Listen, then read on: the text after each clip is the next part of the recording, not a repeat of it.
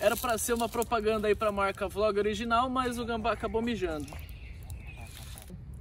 Fala galera, beleza? Tudo certo? No vídeo de hoje a gente vai falar sobre os gambás. Os gambás despertaram um interesse gigantesco aí na Europa quando Vicente Pison levou uma espécie de gambá brasileira fêmea para os reis católicos. Os caras olharam aquele animal, aquele marsúpio, né, com aquela bolsinha, acharam aquilo fantástico porque eles nunca tinham visto aquilo. E no vídeo de hoje a gente vai falar sobre esses animais fantásticos. Vamos lá!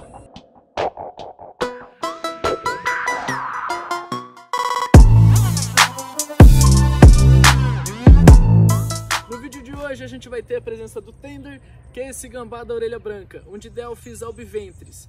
Gambá vem do tupi-guarani, que significa ventre aberto, por conta desse marsúpio aí, daquela bolsinha que eu estava explicando para vocês, que tem aquelas glândulas mamárias, já que a gestação dos gambás aí dura em torno de 20 dias. E esses gambás, depois que nascem, eles nascem medindo 2, 3 centímetros, que já vai para dentro desse marsúpio que fica mamando aí na mãe dele até ele ter todo o desenvolvimento embrionário dentro desse marsúpio da mamãezinha dele. Meu, você sabe o que é mais insano disso? As fêmeas possuem duas vaginas, o macho tem um pênis bifurcado e uma outra coisa anatômica muito diferente é que o pênis do gambá fica abaixo das bolas, ao contrário da anatomia humana.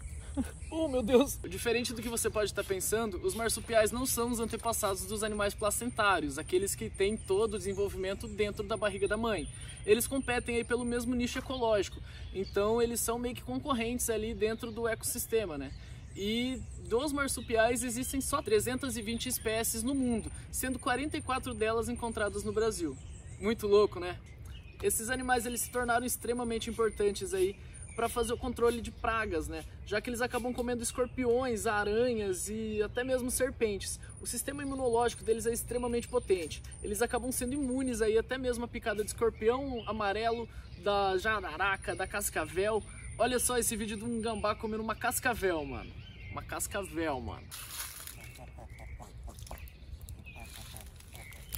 Por serem animais onívoros, por conta da sua alimentação, eles acabam comendo de tudo aí, serpentes, escorpiões, insetos, é, roedores, frutas, tudo que você imaginar.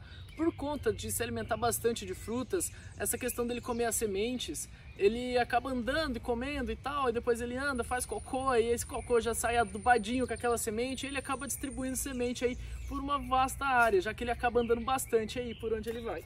Por esses e outros motivos, você deve muito proteger esses animais. E se você achou esse vídeo maneiro, deixa o like aqui embaixo, se inscreve, vai ter o Instagram, o Facebook, o Twitter, todas as redes sociais do mundo para você seguir a gente. Demorou?